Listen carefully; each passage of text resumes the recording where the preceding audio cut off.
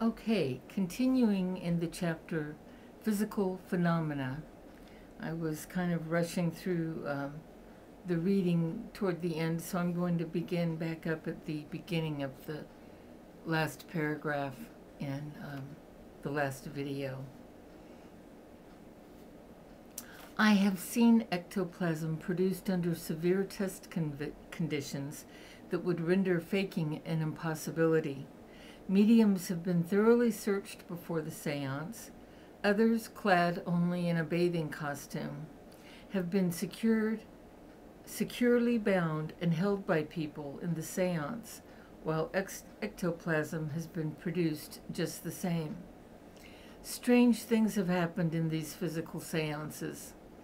Sometimes people have been raised from the floor without anyone touching them.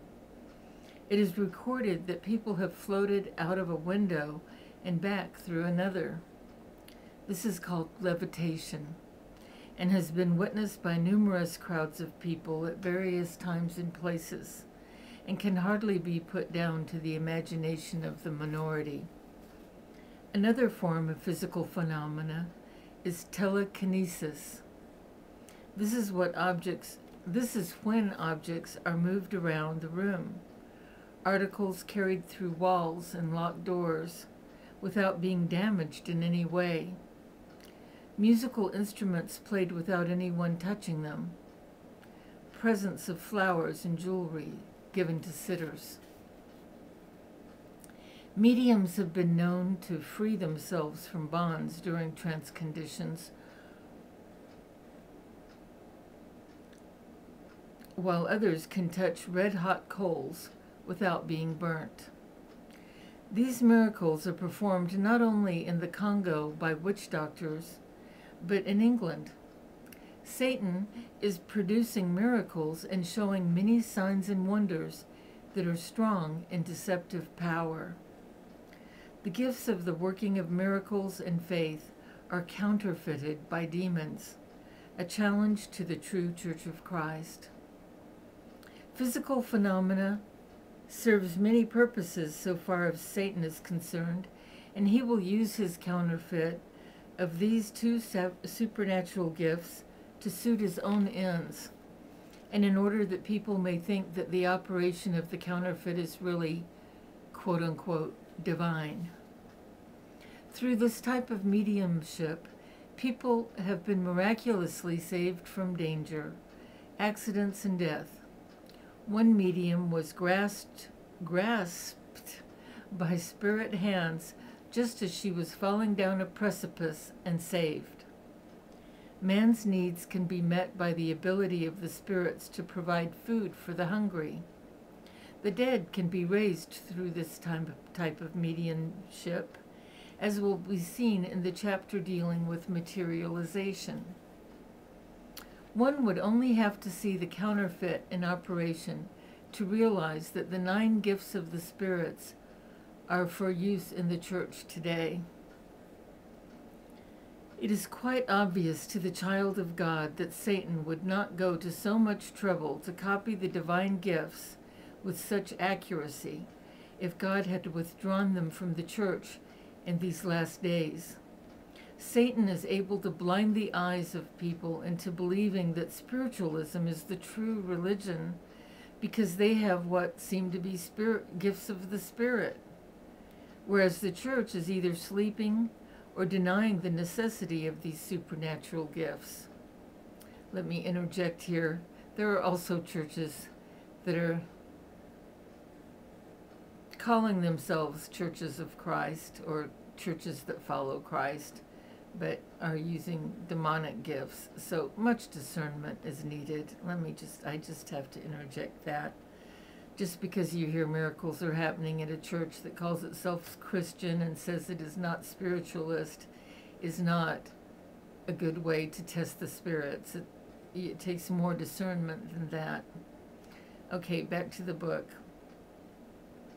Surely the sh church should stand foursquare on the word of God who commands that we be filled with the Holy Ghost. If demons are able to work such miracles through mediums, how much more would the Holy Spirit work through the true church of believers, with mighty signs and wonders following those that believe? As we progress further into physical mediumship, we come to quote unquote transfiguration. Although the majority of mediums have to wait a long time before they reach perfection in this direction, it is really one of the more common types of physical phenomena. Transfiguration circles, or seances, are almost invariably held in the medium's own, medium's own home, although there are occasional open meetings for a limited number of sitters at different spiritualist churches. Visitors can sit either in the circle or in rows, and the medium will be seated in full view of the sitters. Prayers are offered and lights are turned out while a small spotlight is shown onto the face of the medium, who will then go into a trance. The opening prayers, of course, depend on whether the sitters believe in the value of prayer or not. Otherwise, the proceedings carry on without it. Although, as a general rule, the mediums go into trance, it does not imply that it's impossible for physical phenomena to take place without trance condition, as successful results have been ob- obtained either way. Sitters will anxiously wait, watching the medium, and after a time a mist will be noticed which almost obliterates his face. Gradually, out of the mist appears features that are entirely different from that of the medium. It can be the face of a woman, man, or child.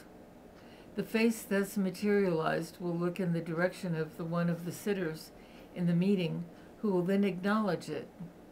Sitters who know the rules of seances or ordinary spiritualist meetings will not give any information to the communicating spirit in case it is not a good spirit, and the manifestation is desired to be as evidential as possible. They will not just call out to the spirit, Are you such and such a person?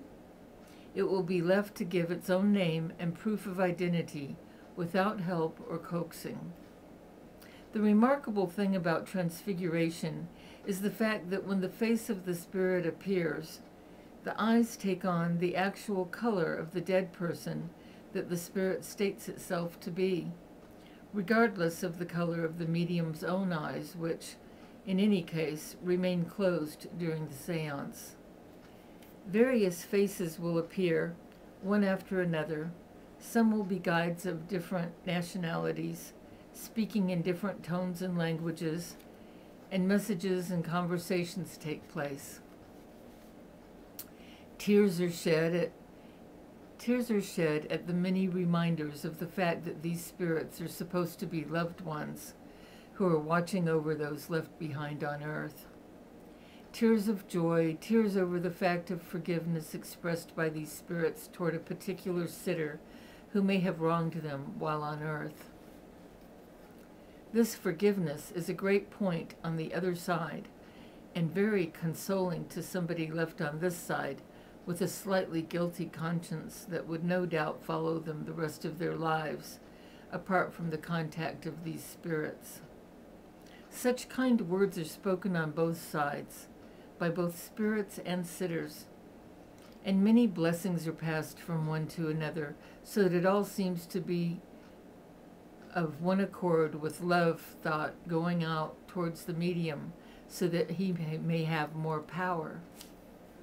When the phenomenon has finished, the medium gives permission for the lights to be turned on, and the sitters disperse to their homes where they're able to meditate over the goodness of the spirits in allowing such wonderful things to happen through earthly vessels. How many precious souls fall victim to these seducing spirits? The devil has inspired his blinded followers to have complete faith in the spirits and because of their simple faith and trust, he obliges them with miracles and signs following. Another type of medium, mediumship is direct voice, which requires darkness, but here again some attempts have been successful in ordinary light. Direct voice mediums are generally referred to as trumpet mediums, as for this purpose a small trumpet is placed in the center of the circle. This trumpet is painted with a luminous paint to enable it to be seen in the dark. After the lights are turned out, the medium will go into a trance, if he's a trance medium, and his guide will enter the body to give instructions to the sitters in case there are many newcomers ignorant of this type of phenomenon. If the medium is not a trance medium, he will make it his business to explain the procedure before the seance.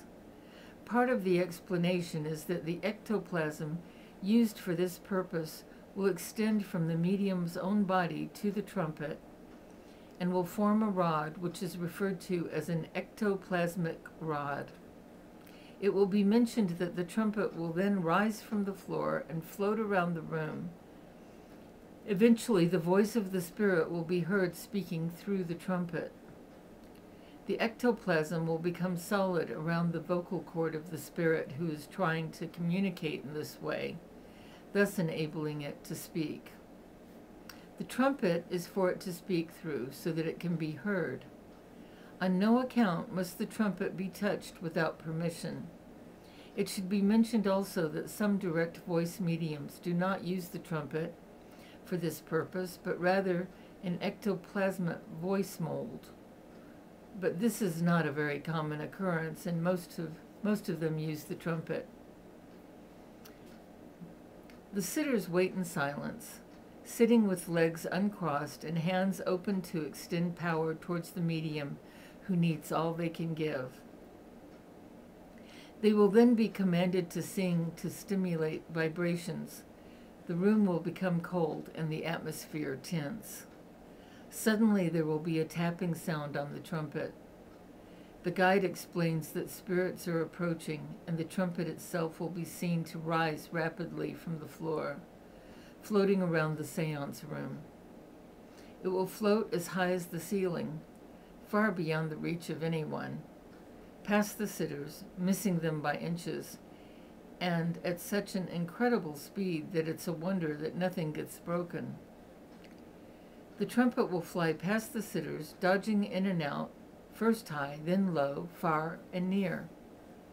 One sitter was once heard to remark that the things must have had eyes to see where they were going into the darkness.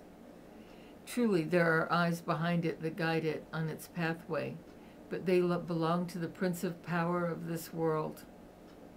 After careening around the room for a few moments, the, si- the sitters, still sitting around, sitting as volubly as they can, oh, still singing as volubly as they can, the trumpet stops dead in front of one of them, and a voice speaks. The voice will say to whom it belongs and give satisfactory evidence as to its identity, and there will follow a short conversation. After that, there will be other spirits speaking, all purporting to be different personalities. I remember one that stated itself to be the spirit of the late Dame Clara Butt, singing Abide with Me, with such accuracy and style that would only have been possible by that great singer herself. It would have been humanly possible to imitate such a unique voice, except by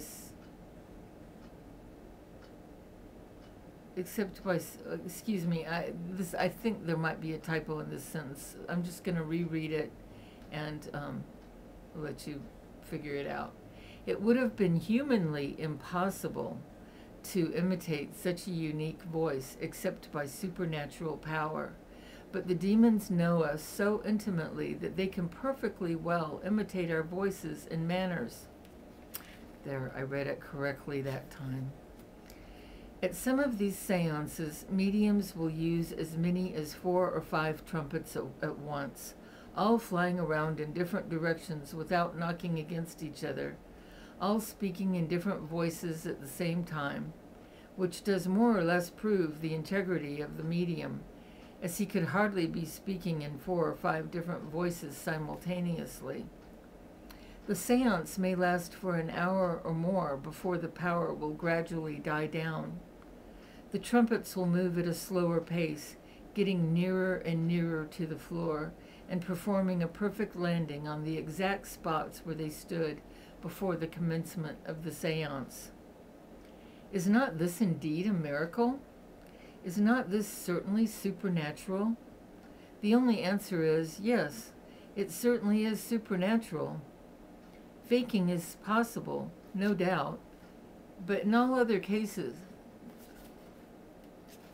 no doubt, as in all other cases, but not in as many instances as, as these things occur. There would be no point in such wholesale trickery.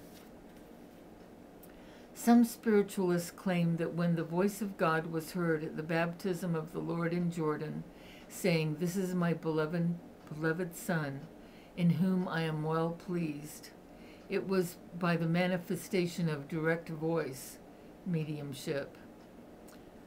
Where in this case was the trumpet? Where was the voice mold? Where was the dark room and the singing sitters to keep up vibrations? Even though we know God's judgment on spiritualism, we have sufficient evidence of supernatural power to convince us of our need of a divine filling of the Holy Ghost. If we have not experienced this, the evidence given above should cause us to seek this filling and the gifts of the Spirit, which the Lord has promised to those that believe. We can indeed thank God that at that at this present time there are those of his children who stand firm upon his promises, and he is confirming their faith with the signs following. No wonder the devil desires to counterfeit the gifts to such an extent and to mislead people who might otherwise follow the true light which comes from God alone, by Christ Jesus. Let us see to it that our whole trust is in him who shall teach us to discern good from evil and the divine from the satanic. And that is the end of this chapter. There's just two more chapters left in the book.